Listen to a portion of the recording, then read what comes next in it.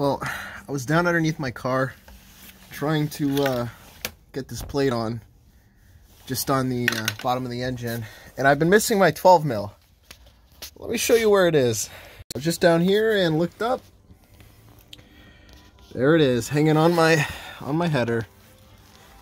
There you been. The sun's blinding. Oh, I can't see.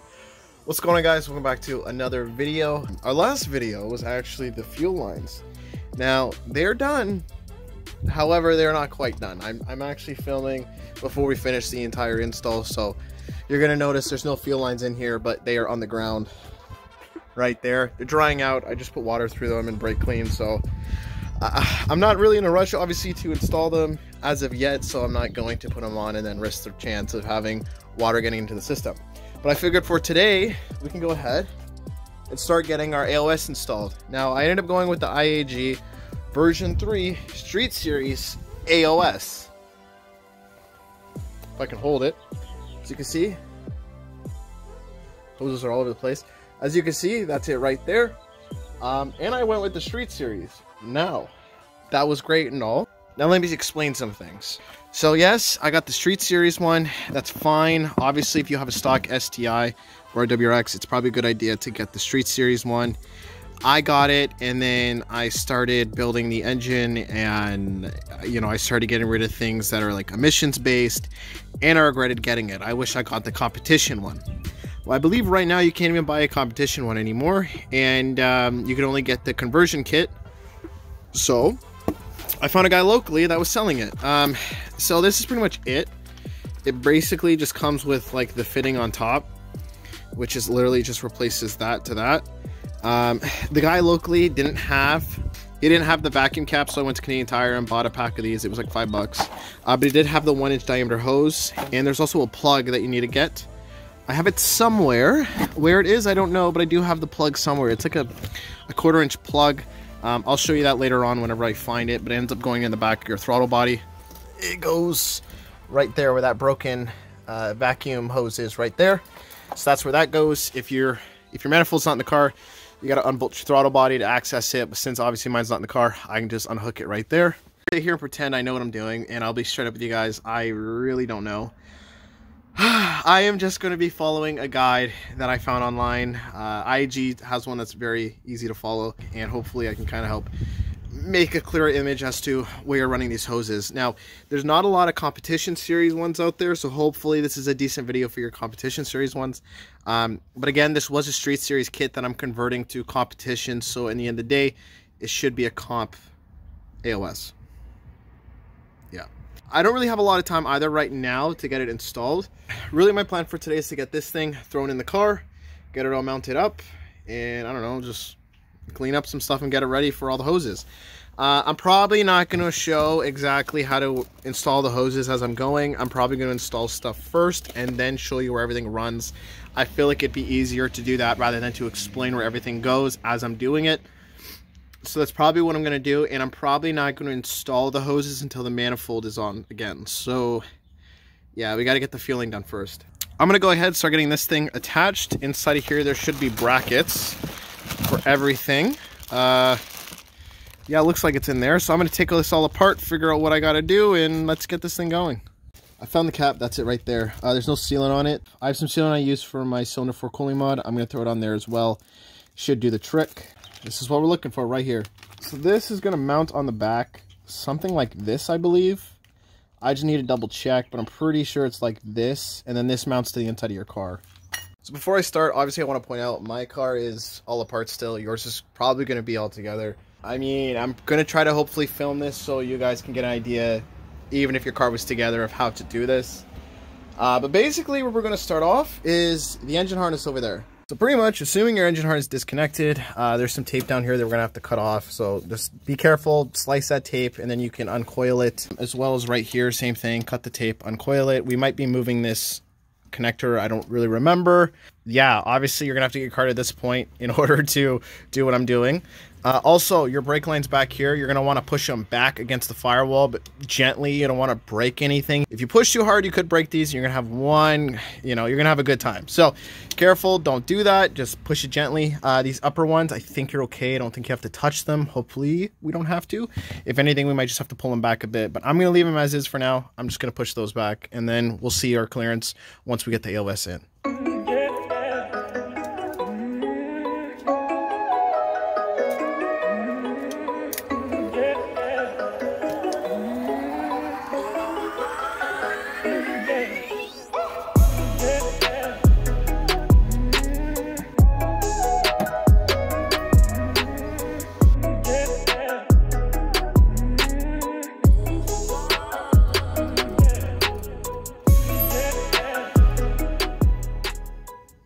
I was thinking I might have had to take the O-ring here, but it looks like this one also comes with an O-ring. So this should be able to go right on. You're also going to notice there's a bunch of holes here, so there's a lot of customization you could do with this port. You can have it literally going any direction you want. I'm going to have it going straight out to the side just because it makes the most sense for my application. But You guys can adjust it whichever way you need. And that's actually really long. Is there not shorter ones? That might be a problem. It came with hardware after all. Let's go ahead and use those.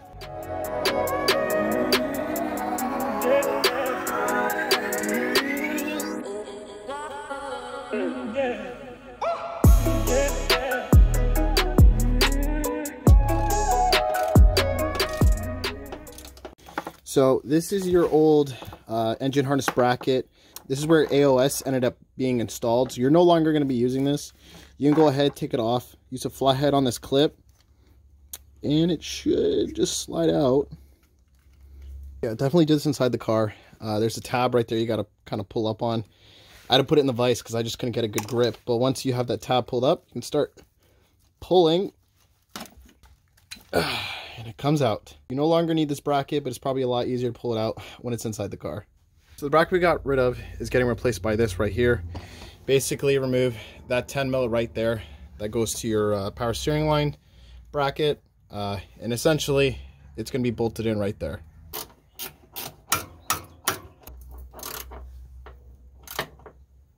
Now what's gonna happen is your engine harness is gonna end up hooking up.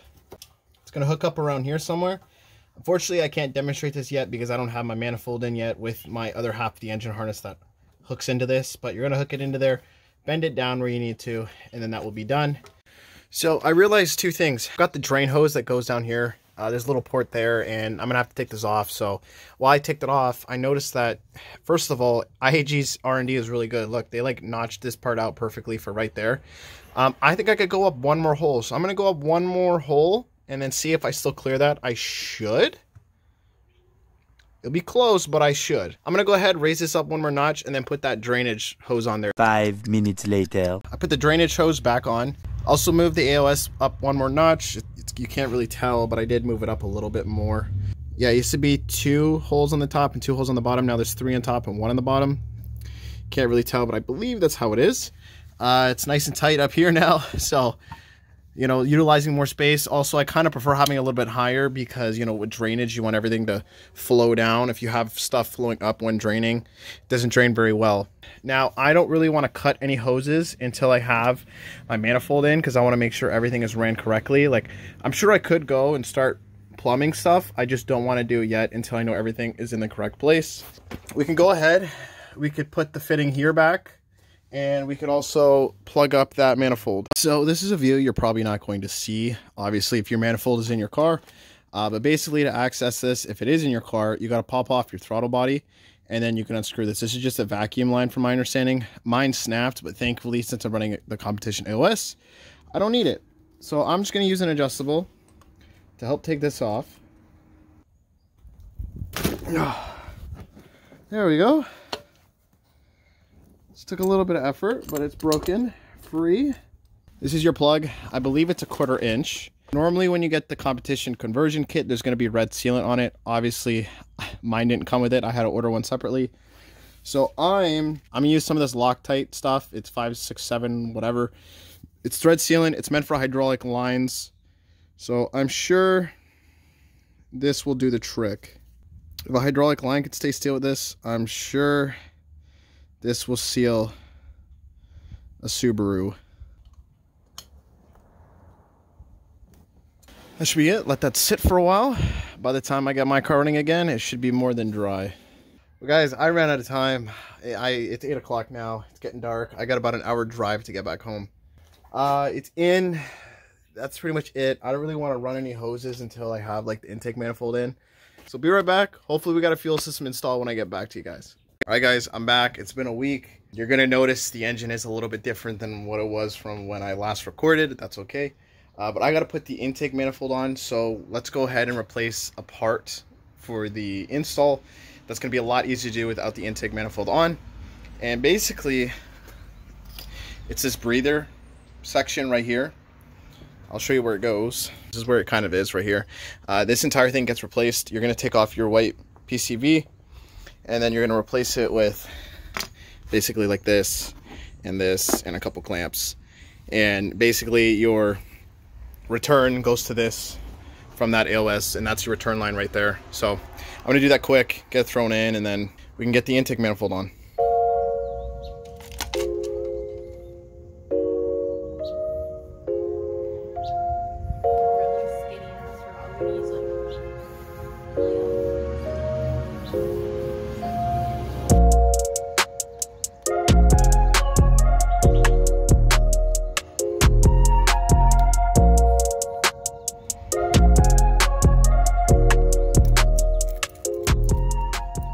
All right, so I went ahead, connected this breather port right here. Uh, these clips, by the way, are really difficult to do, so I wanted to do this before I got the intake manifold on, just because I had a lot more room. The drain hose, I put the 16-inch uh, fire, like heat shroud thing on, uh, zip tied it, making making sure that there was a nice downward slope to it. IAG recommends to run it through here, but it's going to get tight when you go to put on your coupler for your uh, turbo. So I, I've also seen people do it like this and this is your transmission drain hose so I just kind of ran it through here and out. It should be fine it shouldn't cause any problems. Um, we're not going to have another hose coming into the intake manifold around here because obviously we're going to competition one. I'll be back when we got an intake manifold on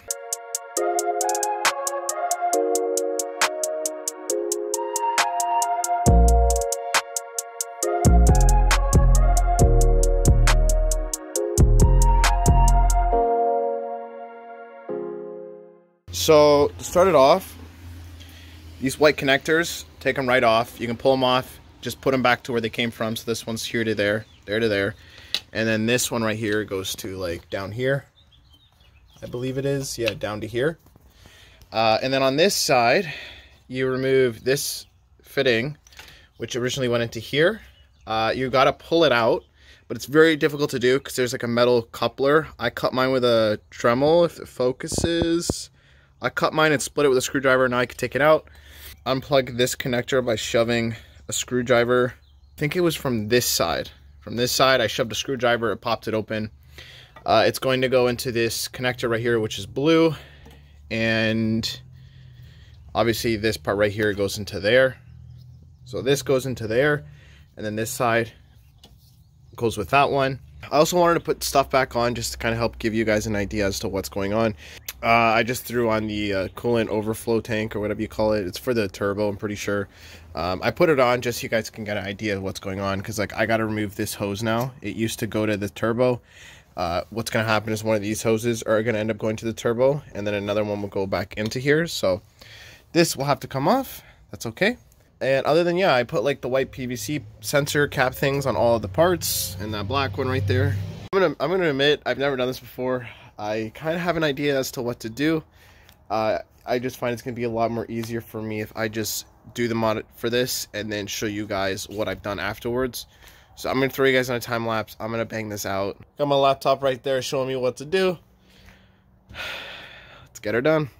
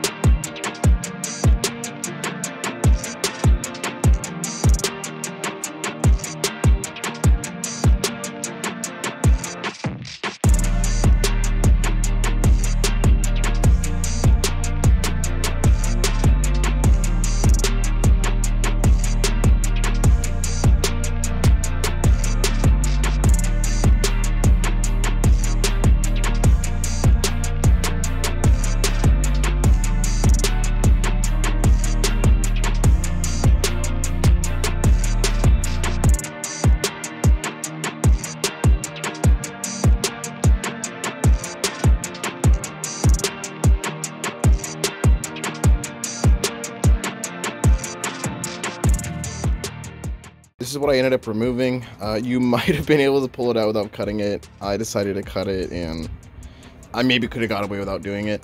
Uh, this is basically everything I removed. If you don't need it in the car, I'd rather have it out. So I did also remove that little metal piece right there. I pulled it out with some needle nose pliers and basically shoved it in that connector. You can see the outline of the metal part right here. Uh, now this can just go away. You can just tuck it down there, forget about it, and now you got lots of room. Uh, also had to cap that off because we got rid of that whole section. Otherwise that cap would have went on right here. And obviously you can do that if you choose to, but I'd rather have it gone because I want this whole area cleaned up. Uh, another cap you got to do is back here. And after you do that cap, you're pretty much done. That is the competition AOS. Um, I did find it difficult running that back uh, venting hose. It's because I have a Cobb catted downpipe and I'm a little worried about how close it is to the downpipe. But this is how this is how IAG kind of has it ran. You can't even see it, but it's it's kind of close. I mean, it's probably okay. I wouldn't mind if they included some of that heating shield stuff for this, but they didn't. Oh, and I got to put a couple zip ties. But for the most part, guys, that is the install. It is pretty well done.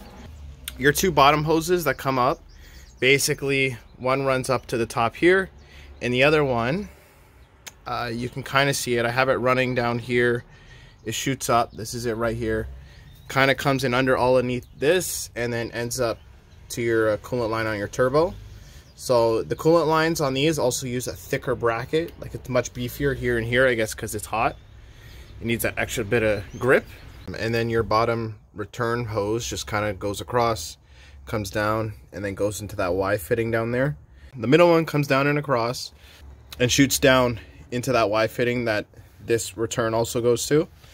Uh, and then that one, I believe, uses a 16 inch uh, heat shield as well.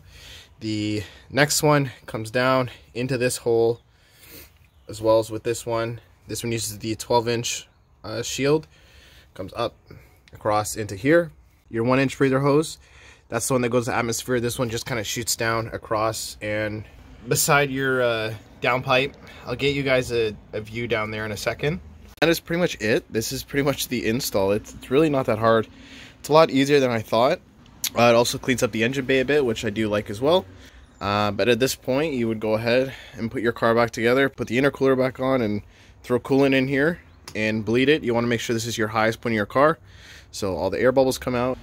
You also have your breather cap right there. You open up that when you're bleeding the system. Some coolant might come out of there, but nothing crazy. And that's pretty much it, guys.